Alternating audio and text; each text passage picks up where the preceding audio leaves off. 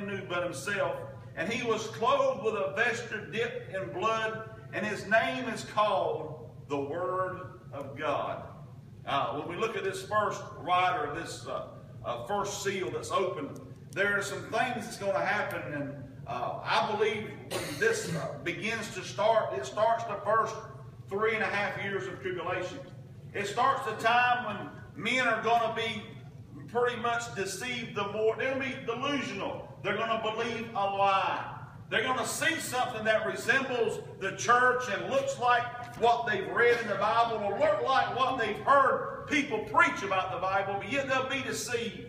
They'll follow this man and he'll promise uh, uh, peace. And let me tell you, when the Bible says when they promise peace, you better watch out. Amen. Matthew chapter number 24, verse 5 says, Many shall come in my name, saying, I am Christ, and, now, and shall deceive many. And I'm reminded of one back in the book of Acts named Simeon. He was a sorcerer, the Bible says in Acts chapter 8. He was one that followed the disciples around and they watched him, uh, they watched, uh, he, he watched the disciples heal people and uh, save people and, and made the lame walk. And after all that was over with, he says, well, well, here's a piece of money. Can I have what you got? And friend, tonight there's still folks in this day and time that believe the Holy Spirit, the power of God, can be bought by money. Amen. There's still people who believe that. I mean, they say it all the time. Preacher, uh, I tell you right now, I put an extra 20 in the offering plate. I'm hoping God's going to bless me uh, this week. God's not going to bless you any more or any less. It is our faithful and duty in the uh, way that we worship by the way we tithe. Amen. Uh-oh, preacher's on tithing tonight. Amen. My Bible tells me that, that there was a certain man named Simon who was before time in the same city used sorcery and bewitched the people of Samaria, giving out that he himself was some great one, to whom they gave heed from least to the greatest, saying, This man is the great power of God.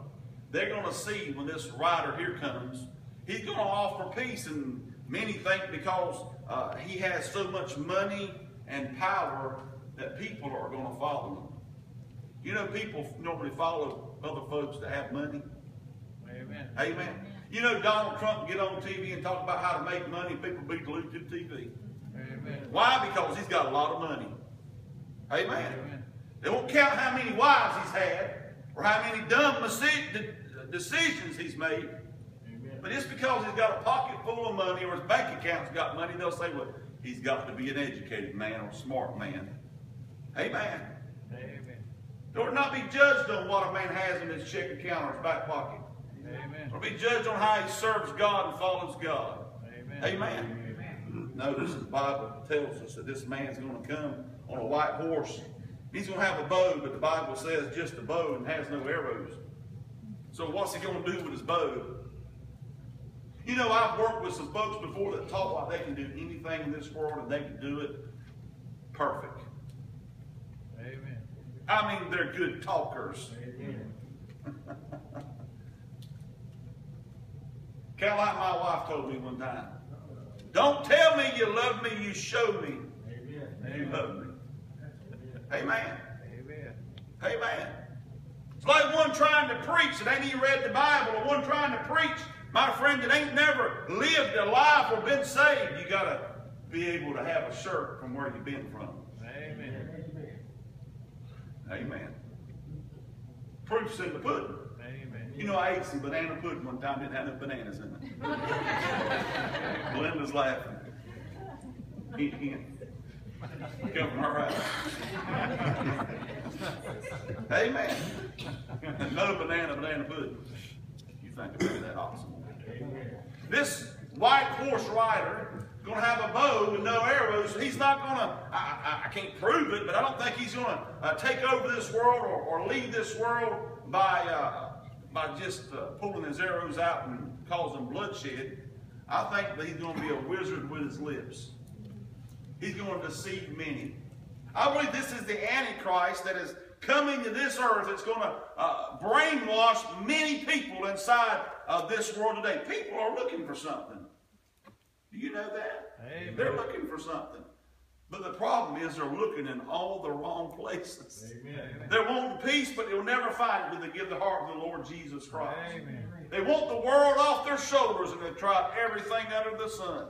I've watched people drink gallons of whiskey, wine, to get the pressure of this world off of them. They smoke dope, they take pills to get the pressure of this world off of them. Jesus can give you that. Amen. Preacher, Jesus gonna fix all my problems. Yes, he'll fix your worst problem right strong. Amen. Your worst problem is you. My worst problem was me. Still is sometimes. Amen. Amen. Bible says he was riding a white horse. He had a bow, and you know the world's patterns we've seen. Uh, we're all programmed already to accept things and doctrines that uh, we used to wouldn't accept. Amen. This is what I'm saying when I say that. You know, the church would have probably burnt down the schoolhouse a hundred years ago if they were teaching evolution a hundred years ago. Amen. Amen. I mean, the church would went down there and the preacher, the biology teacher started talking about evolution. They'd have had him by the hair of the head or her by the hair of the head, and they'd have had him strung up and said, You'll never teach that again or you'll die today.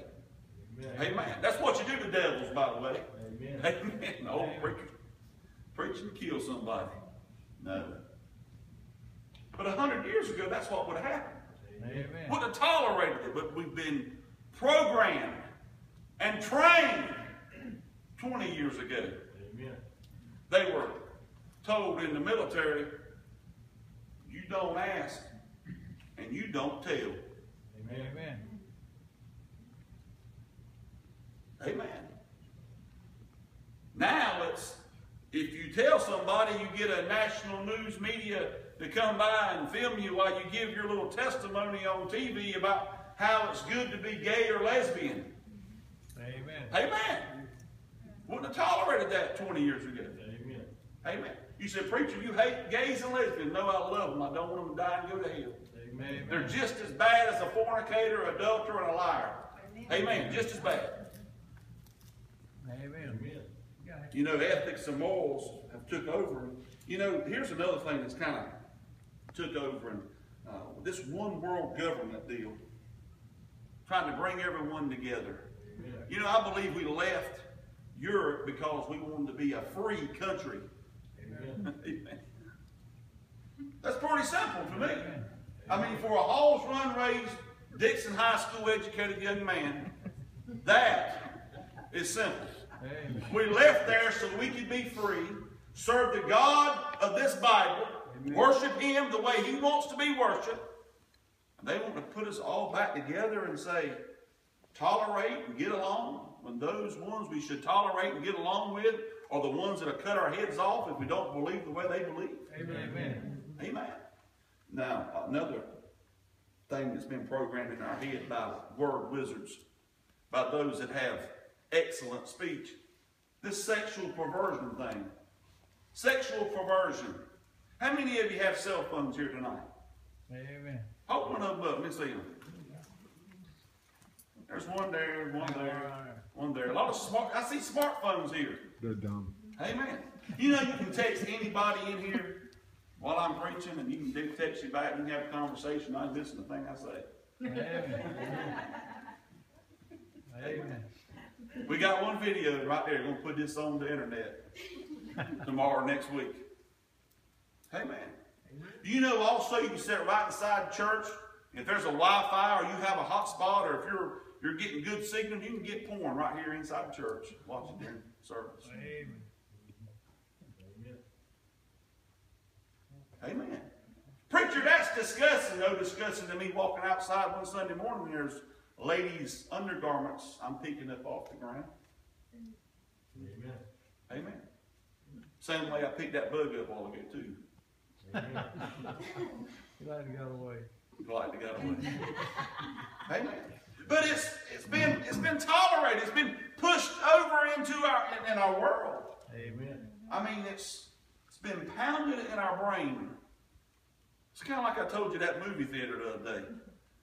They told me over and over it was cheap, and it just to my common sense adding up, it wasn't cheap.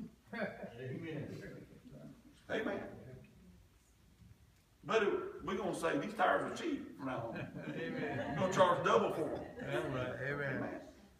He's going to have a bow. I believe he's going to have uh, be a word wizard. He's going to make people follow his damnable doctrine. He's going to brainwash them.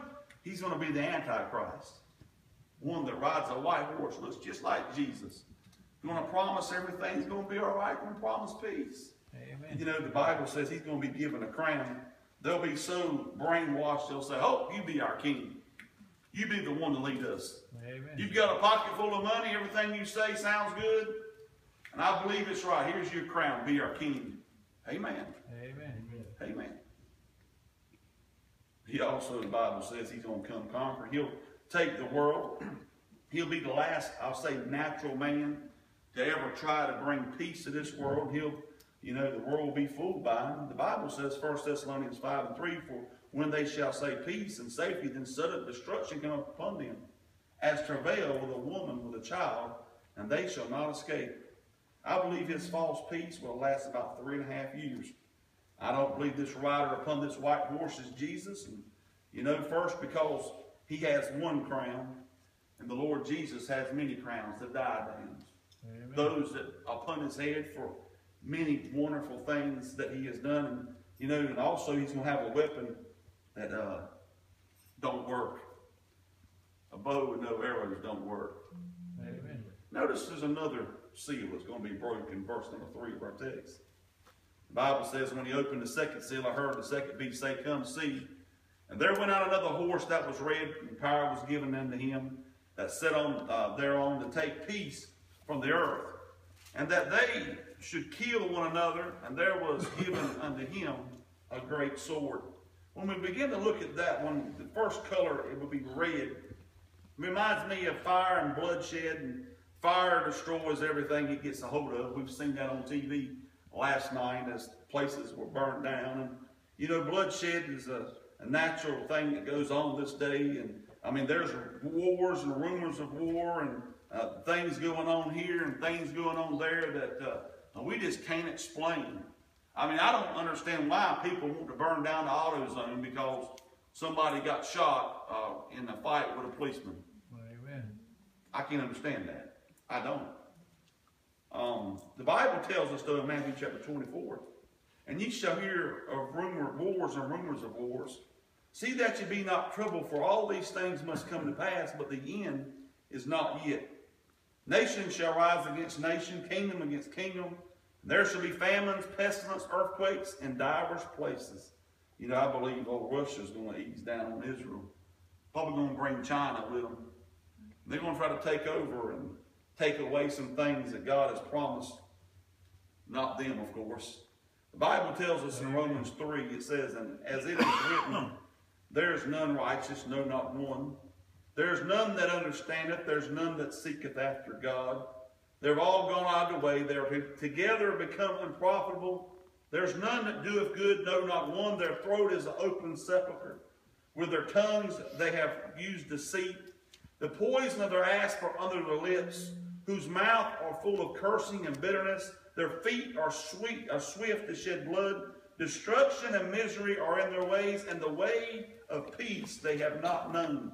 Can you imagine a world without peace? Could you imagine laying in your bed at night, and even with the alarm system you have on it, you still don't feel like you've got safety and peace? There'll be no rest. This red rider that comes upon this horse, I don't believe he's actual, these are actual horses that's going to be rode. I believe they're symbolic of what the Antichrist is going to do to this world after the church is gone. I mean, he's going to be deceiving everybody. He's going to be making them believe a lie, and he's going to be promising peace, and there's going to be some that say, no way. And they're fighting against the ones that, that are brainwashed. They're saying he's not going to lead us, and they're fighting, and bloodshed's going on. And where they promise peace, there's never peace. And all of a sudden, then after this red horse flies off the scene, there's a black horse that comes. The Bible says, and when he had opened the third seal, I heard the third beast say, Come and see. Notice this beast always says, Come and see. God's uh, beings and God's uh, preachers and teachers always say, Come and see. Come and see what God is doing. Amen. Notice he says, Come and see. And I beheld, lo, a black horse, verse 5. And he that sat on him had a pair of balances in his hands. And I heard a voice in the midst of the four beasts saying, A measure of wheat for a penny, three measures of barley for a penny. And see thou hurt not the oil and the wine. Now notice this black meaning mourning, sorrow, and famine. The Bible says in Lamentations 4 that they had that they be slain with a sword are better than they that be slain with hunger. I believe when this black horse comes, symbolic of what the Antichrist is doing, there's going to be people starving to death. Amen. Starving. Preacher, I- we got plenty of food over here.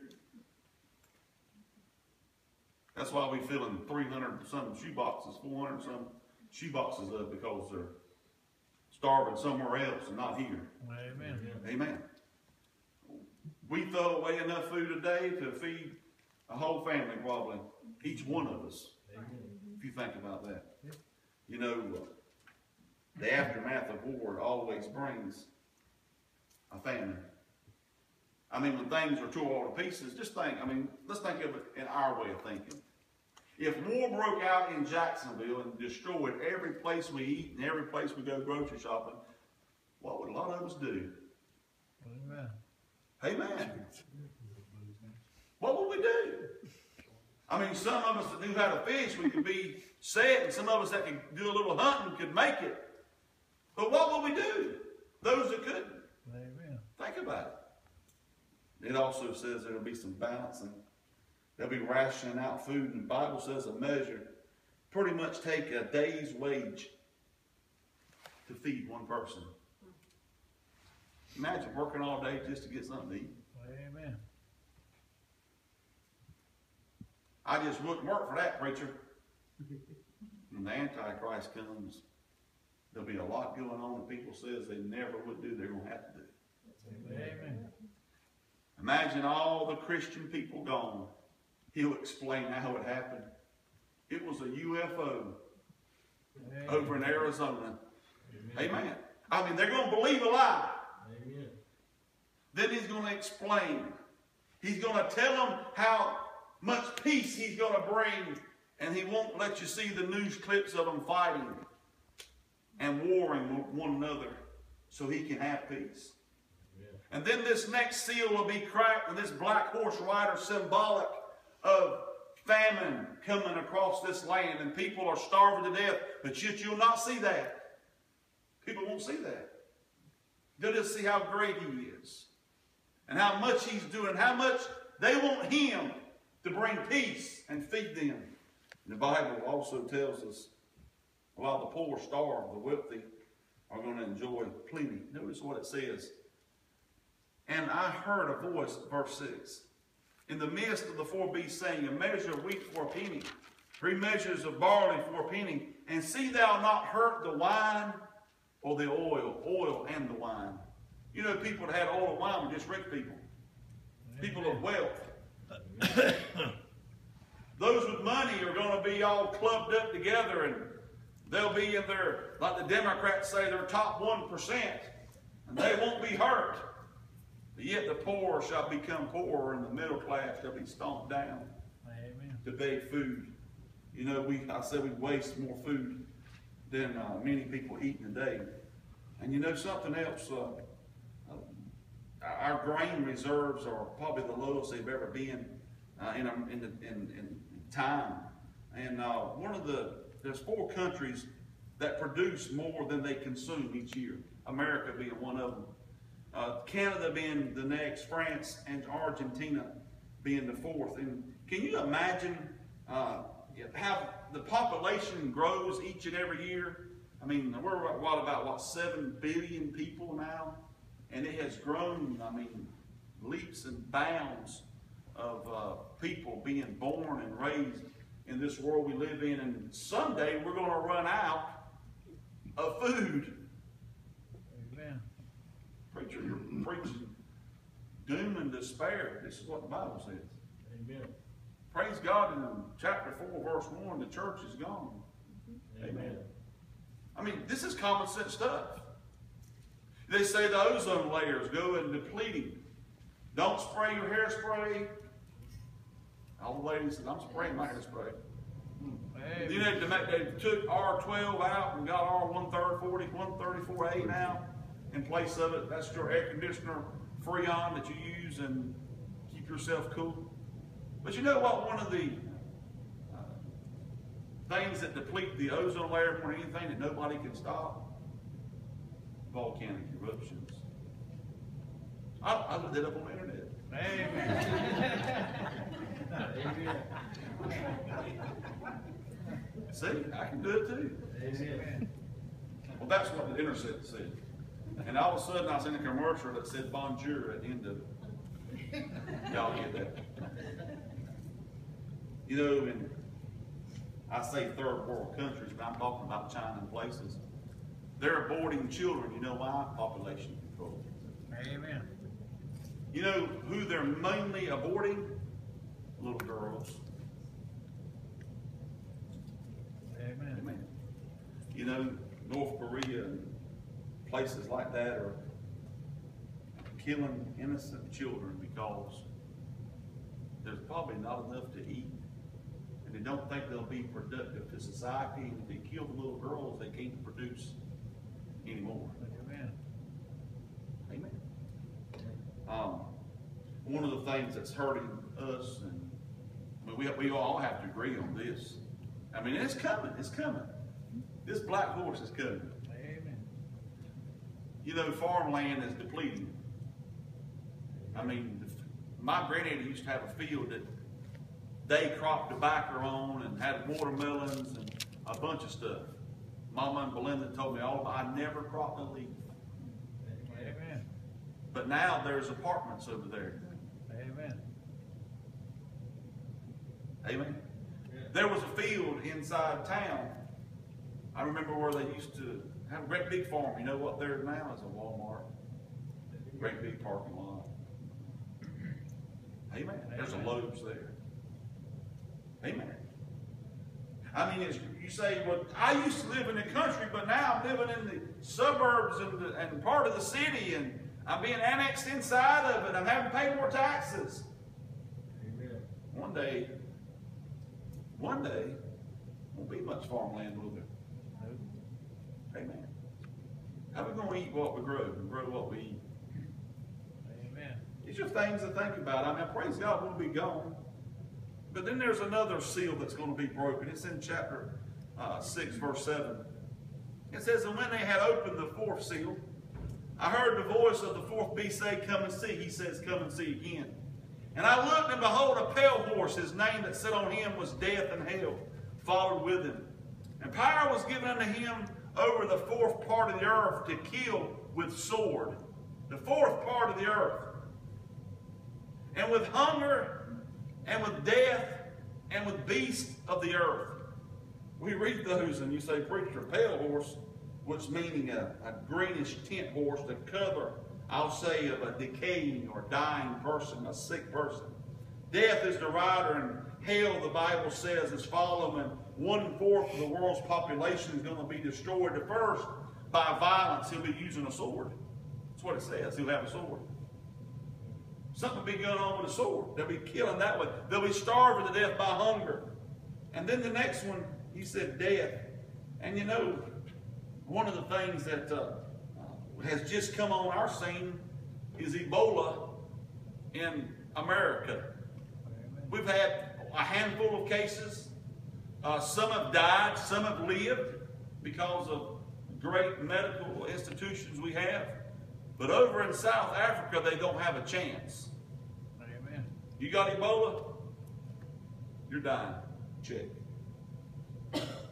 Over in South Africa, they are having another disease that runs crazy. It's called AIDS. You don't hear much about AIDS no more, do you? Magic Johnson got it, HIV, and they gave him drugs, and he's cured. And no, he's not cured. He's in remission. He stopped taking the drugs. He can produce the virus that'll kill him. Amen. Amen. I looked it up on the internet. Amen. You can too. You can too. It seems to me like they would send safe sex items over there rather than cures. Because they say it's spreading by the hundreds. They say in India, 96% of the prostitutes have AIDS, infecting 500 people a day. Statistic I got off the internet. That's a lot, ain't it? Amen. Multiply that. This is a pale horse rider. Quarter of the earth, now the church is gone. Then a quarter of this world population is gone because of they're fighting with war. I mean, not only are they fighting with war, they're becoming sick. Not only are they becoming sick, they're having a good time and diseases are spreading. Preacher, I just don't see how diseases can travel so fast. They get on an airplane in South Africa, they land in Kansas City. About 20 hours later. It's pretty quick. Amen. Urbanization.